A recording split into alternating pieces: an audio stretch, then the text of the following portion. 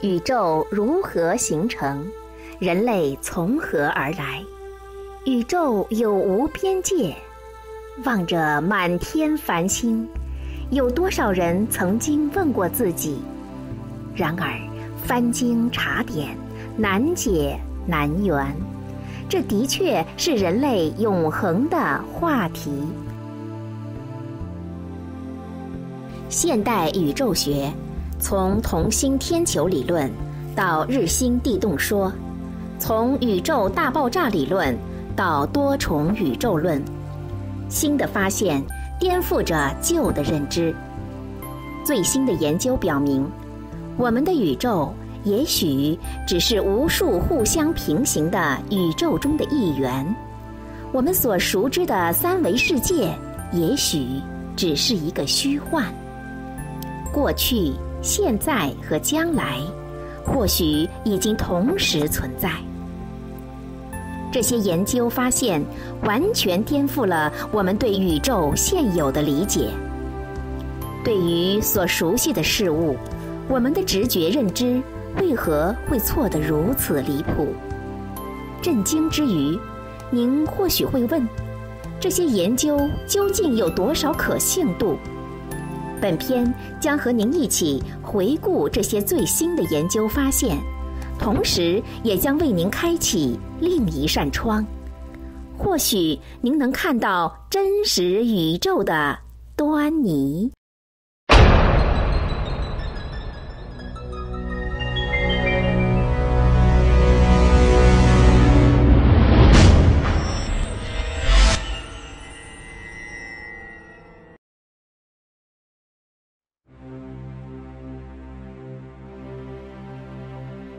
淮南子·齐俗训》中说：“四方上下谓之宇，往古来今谓之宙。”中国古人将宇理解为空间无限的广大，宙理解为时间永远的连续。现代宇宙学中通常将宇宙理解为一切时间和空间的总称。那么，什么是空间呢？这个看似简单的问题，却难倒了今天的科学家们。空间包含万物，而万物又包含着空间。科学家们发出了这样的感叹：这是物理学最深奥的难题之一。早期的物理学家认为，空间其实就是空无一物。现代科学之父牛顿。将空间描述成一个空旷的舞台，绝对而永恒，始终不变。宇宙中的一切都在这里上演，万物在这里更替。演出不影响舞台，舞台也不影响演出。在牛顿的眼里，宇宙好比是一个以固定规律运转的精密的机器，比如地球围绕着太阳旋转。星系如同一个巨大钟表的很多齿轮，这就是机械的时空观，是绝对时间、绝对空间的框架体系。时间与空间完全是相互独立的。牛顿力学准确描述了我们周围直觉感受到的一切现象，小到苹果落地，大至地球绕太阳的运动轨道。经历了百年的验证，并得到了全世界的认同。然而，爱因斯坦却以独到的见识指出，空间其实是一种类似橡胶毯的实体，可以使它弯曲，也可以使它扭曲，还可以使它震荡。我们之所以通常意识不到空间的存在，就像鱼儿也很有可能意识不到水的存在一样，因为。它们一直在水里。爱因斯坦指出，物体在运动中时，空间和时间会以一种特殊的方式相互影响、相互配合。空间和时间在运动中融合在了一起，形成了一个我们熟悉的时空的概念。这种空间时间一体化的理论震动了整个科学界。并从根本上击碎了牛顿的空间舞台理论。这个理论就是爱因斯坦的狭义相对论和广义相对论。狭义相对论是建立在光速不变原理的基本假设基础上的，也就是说，光速不随光源和观测者所在参考系的相对运动而改变。爱因斯坦认为，光速之所以能够保持恒定不变，是因为空间和时间都发生了改变而造成的。随着物体运动速度的增加，时间会扩张，空间会收缩，质量会变大。物体的运动速度越大，效果就越明显。爱因斯坦在研究引力时，还进一步发现，由于物质的存在，使得我们的时空并不是平直不变的，它会弯曲，而这种弯曲竟然就是引力现象。换句话说，引力其实是幻觉，时空的弯曲才是本质。月球沿轨道运动，不是通过地球的某种神秘力量牵引，而是因为它沿着地球产生的时空凹陷转动。时间和空间不仅是一个整体，而且它还会受到物质的影响而弯曲。这在人类历史上是第一次出现了这么反人类直觉的理论。不仅仅对宏观领域的研究中颠覆了对现有空间的认知，微观领域的研究中也同样完全颠覆了对宇宙的认识。我们已经知道，现代科学认为。原子是组成世间万物的最基本的单位，即使在原子这样的微观微粒中，仍然存在着无比广阔的空间。在对于微观尺度空间的探索中，科学家们发现，即使在微观尺度虚空中，仍然不是空无一物。这个空间复杂多变，粒子四处飞奔。互相撞击，惊心动魄，一片混乱。粒子像泡泡一样转瞬即逝。越来越多的科学家接受了被称为希格斯粒子和希格斯场的理论。这一理论假设空间像一个大海，各种粒子静没在这个大海里。当它们在海水里移动的时候，它们由此获得质量。粒子越是努力向前推进，大海对它们的阻碍越大，它们的质量也就越大。尽管希格斯场至今未能完全得到证实，然而在寻找希格斯粒子方面的突破，已经为证实希格斯场迈出了可喜的一步。在量子力学的研究中。还发现了一种至今科学无法解释的超越空间相互影响的奇怪现象：有共同来源的两个微观粒子之间存在着某种纠缠关系，不管它们被分开多远，都一直保持着这种关系。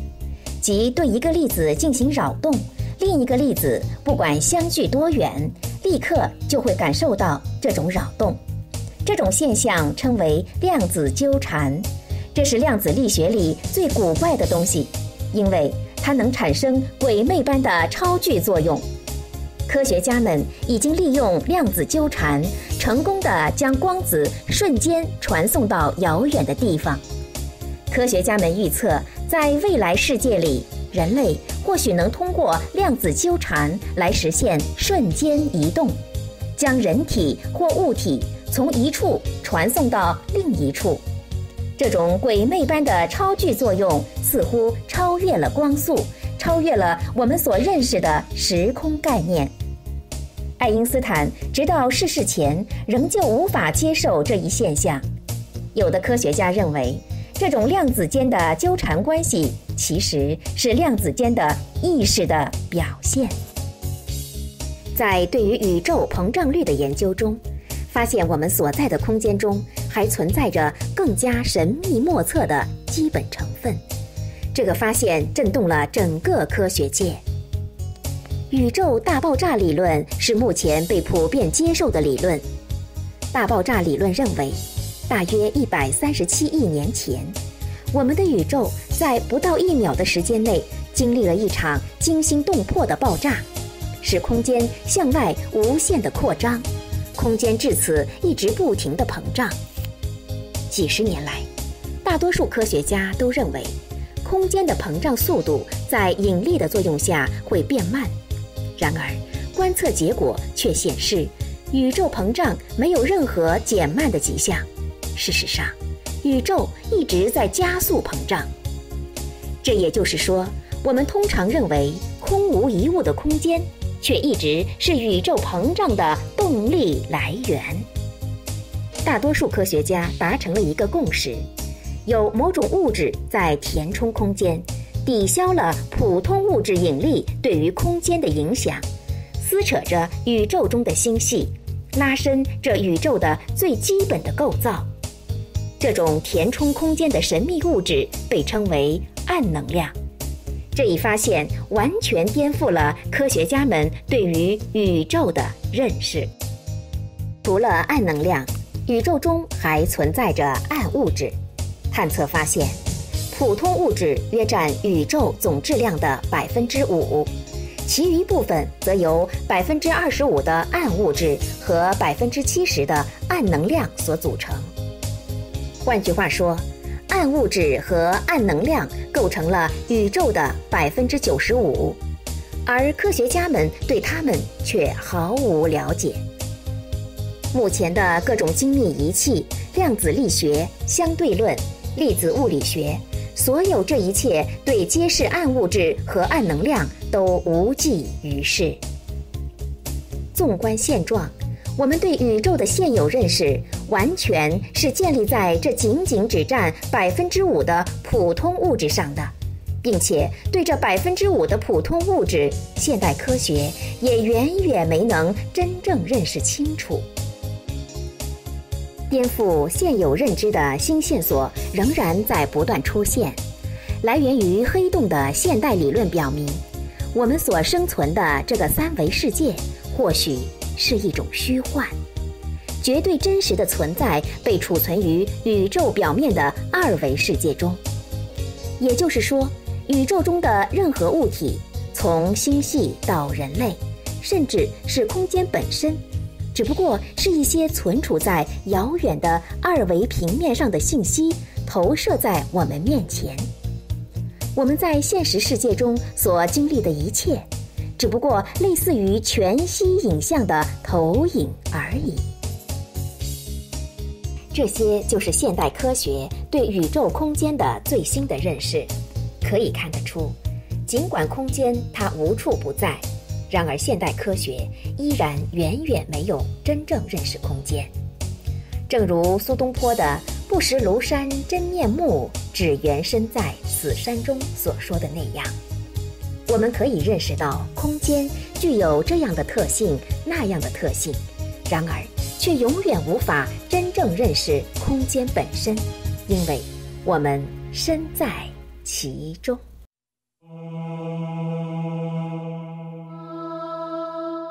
早在两千多年前，释迦牟尼佛就告诉过他的弟子：世间一切皆是幻象。现代宇宙学也认识到了我们的这个三维空间是一个类似于全息影像的虚幻。似乎现代科学对宇宙认识的越多，距离佛法就越近。其实，爱因斯坦曾说过这样一段话。如果将来有什么理论能代替科学的话，那一定是佛法，因为佛法太完美了，已经达到了至善的境界。法轮大法是宇宙根本大法，揭示了许多有关宇宙的奥秘。李洪志大师对他的弟子说：“我们这个法讲出了宇宙的真理，是开天辟地，从来没有人讲过的。”通过李洪志大师对宇宙空间的相关论述，我们能够看到真实宇宙空间的身影，也能够认识到为什么现代科学不能真正认识空间的原因所在。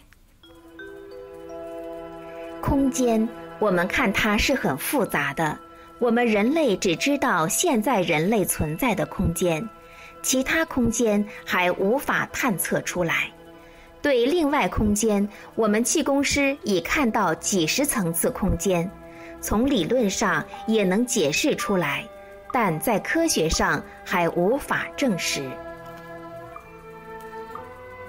我给大家讲过了空间的构成。比如说，物质是由分子和更微观粒子组成的，我们所认识的空间也是由这些粒子组成的。现在科学认识的粒子有分子、原子、中子、原子核、电子，然后还有夸克、中微子。再往下，现在的科学也不知道是什么了。那么我讲的是。每一层这样的粒子所存在的那个境界，我们要叫它一个层次面。其实粒子的分布不是面，而在那一层次中无处不在的不是面存在的。人类没有这个名词，所以就叫它面吧，只能这样形容。就是在这个境界当中，在那一层粒子的境界当中，它构成了一个空间。粒子和粒子之间是空间，而粒子本身里边又是空间，而粒子又能够组成不同大小的粒子，那同一粒子组成不同大小的粒子之间又是空间，这就是我上次给大家讲过的空间的概念。我们知道原子里面有原子核和电子。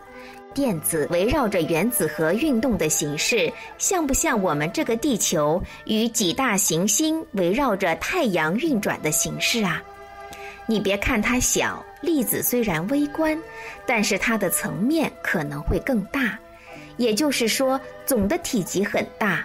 比如看人，只看人的一个分子粒子是看不到人的。能看到构成人的所有这一层粒子组成的表面，才能看到人。假如能用高倍数的超广角显微镜把原子放大到地球这么大来看看上面有多少生物，当然人现在是做不到。看到了，你会发现那是另一番景象。对那些生命来说，那也是广阔天地。不仅仅分子和原子之间的空间，原子和夸克之间，夸克和中微子之间，更微观的粒子之间的空间，都是与我们的这个空间同时同地存在的。人感受不到这个空间差，瞬间就进去了。它和我们的时空差不能用里程来表示，十万八千里那么远，在这儿就那么一点。就是同时同地存在，任何物体，包括人身体，都是和宇宙空间的空间层次同时存在、相通的。我们现代物理学研究物质的微粒，只研究一个微粒，把它剖析分裂，原子核分裂之后，再研究它裂变之后的成分。如果有这样的仪器，能够展开。看它这一个层次中所有的原子成分或者是分子成分在这一层中整个的体现，要能够看到这个景象，你就突破了这个空间，看到另外空间存在的真相了。现代科学没能认识到同时同地存在的不同空间。哪些特性是我们这个空间本身的特性？哪些特性是其他空间反映到我们这个空间来的特性？现代科学没能对它们进行区分。同时，我们对其他空间反映到我们这个空间来的现象的观察，又完全立足于我们这个时空。用在这个时空中形成的观念去认识另外空间的现象，并试图用我们这个时空中事物运动的规律来分析其他空间，自然会觉得对不上号。在我们这个空间中几乎没有距离，而在另一空间中可能相差十万八千里。同样，在我们这个空间中相距十万八千里。而在更大一层粒子的时空中，可能没有距离。能够认识到不同空间同时同地存在和它们之间的差别，那么也就不难理解量子力学中的不确定性和利用概率的必要性了。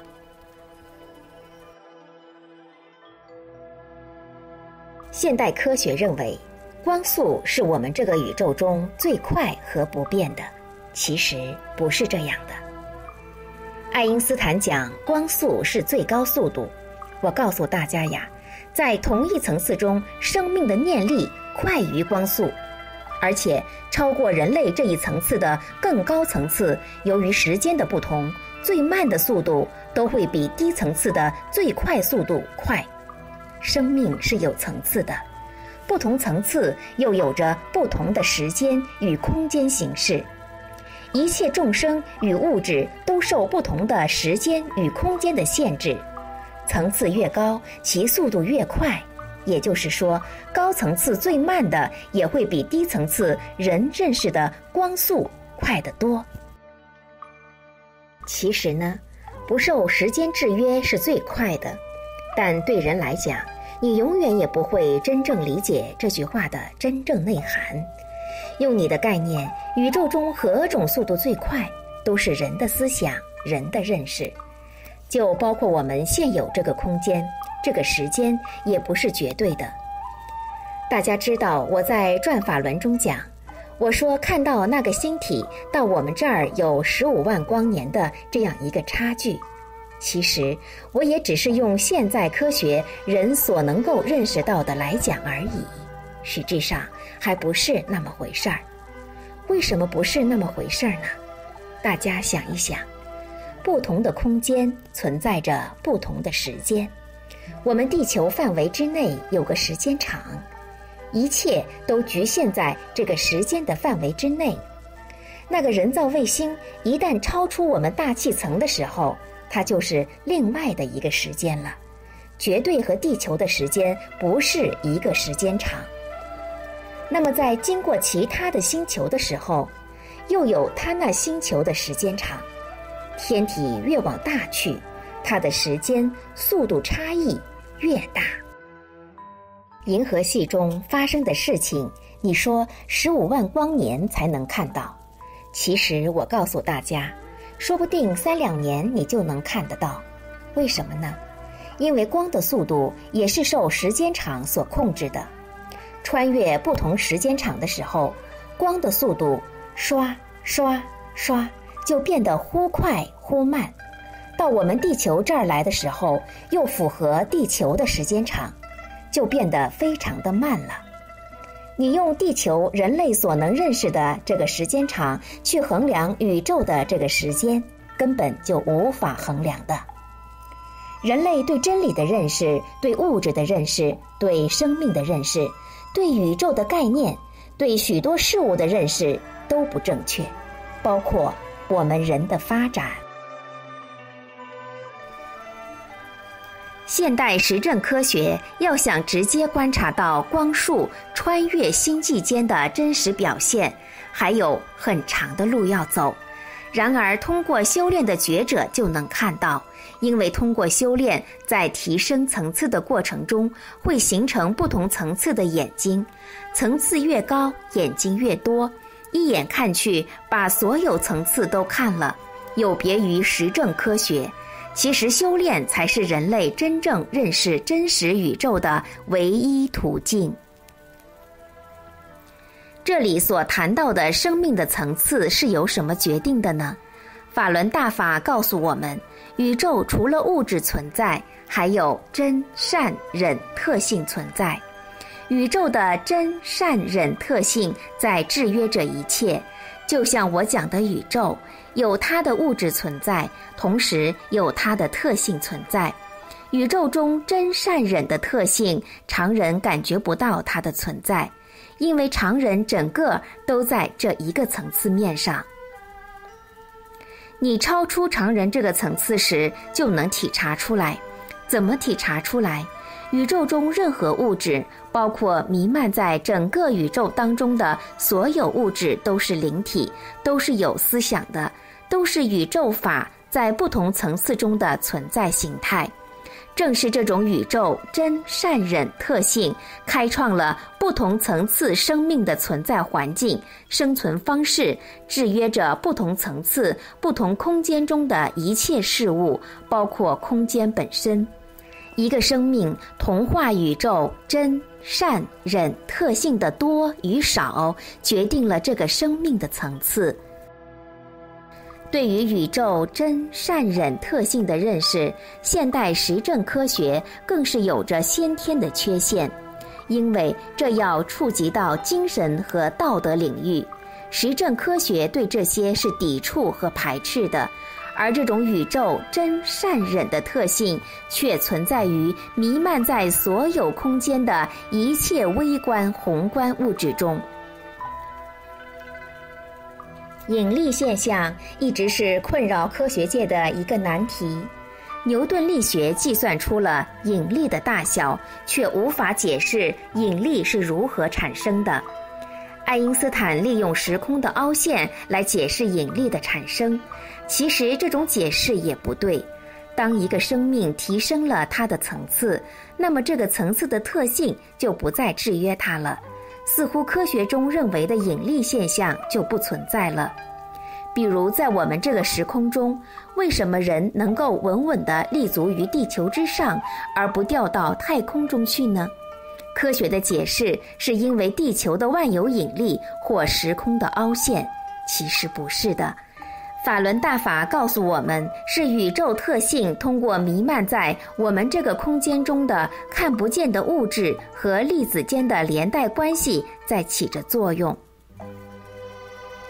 科学认为，现在的人生存在地球上，能站在地球上不掉到空间中去，不掉下去，是因为地球有吸引力。万有引力，其实我们发现不是那么回事。因为这个宇宙中，地球的周围有一个庞大的、非常非常微观的物质环境，由层层的物质生命组成的，给人构成了这么一个环境，能够在这里生存，而且有不同层次的你看不见的微观的水，给你造成了这样一种能够有植物、动物和物质存在。能够使人在这里有生机、能够生活的许许多多因素。有一种物质，它能够叫人直立在地面上，不让它侧过来；有一种物质，就像压力一样，按住人和物体，不让它漂浮起来；有一种物质，能够使人的大脑和器官一切都保证它稳定。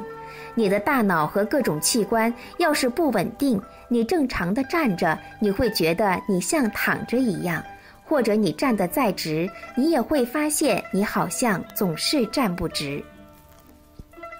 人他有生存的环境，各个星球都摆放在那儿，就是庞大的宇宙生命给他安在那儿的，就像我们今天的钢呀、铁呀、金呐。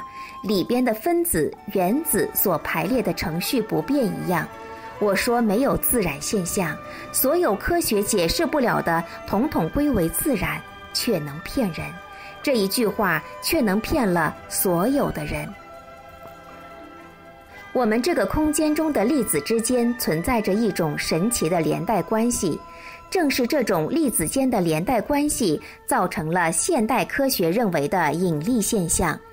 因为地球与三界内的一切生命、一切物质，包括空气、水，所有的一切在三界之内存在的物体，都是由三界内所有的各层粒子构成的。各层的各种粒子之间是有连带关系的。这种连带在三界内，它可以在拉力下延伸、移动。就是说，你拉它，它会像橡皮条一样可以延伸。放开来，它还会回去。就是说，粒子和粒子之间有一个基本稳定的存在方式，这就造成了你只要拿动地球的这个环境中的任何物体，它都会回到地上。当然，不只说拿块石头放到别处去，没有恢复到原处，不是这个概念。地球表面是一个层次的界限，在这一层次中可以横向运动，因为都在一个层次中；而向超越其层次的高层运动就会被拉回来，因为地球上的物体就是这个层次的粒子所在境界。修炼的人通过修炼提升层次后，就不再受到这个层次的制约。似乎引力就不存在了，就可以起空，就可以飞起来，就是因为你们与地球有关的表面物质粒子组成的身体物质发生了变化，和这个环境中的粒子断绝了联系，你们就没有它的连接力，没有它的制约牵扯力，那么就可以起空。那么你修到哪一个境界中呢？你在微观的生命构成的那一部分，就和那一境界是联系的。你再往更高修呢，你就跟更高联系着，就断绝了以下的所有层次的联系，就是这么一个关系。大家可能在古书中，如《神仙传》或者是《丹经》《道藏》《性命规旨》中，都写着这样一句话。叫做白日飞升，就是大白天这人飞起来了。其实我告诉大家，大周天一通，这个人就可以起空的，就这么简单。从李洪志大师的论述中可以看出，现代科学对于同时同地存在的空间、光速、引力现象的认识都有误。更不用说对超越物质存在的宇宙真善忍特性的认识。人类说自己的科学怎么发达呀？怎么发达？很可怜，他根本就没有突破分子这一层空间，看不到另外空间，人还在沾沾自喜。人类对科学的认识永远都是在摸索，盲人摸象。这个科学现在就是这样，他摸到了象的大腿，或者是鼻子，他说科学是这样，其实他看不到整个真相。目前实证科学几乎已经走到了死胡同的尽头，如何才能突破？如何重新认识已知的事实和各种史前文明的发现？如何认识其他空间反映到我们这个空间来的各种现象？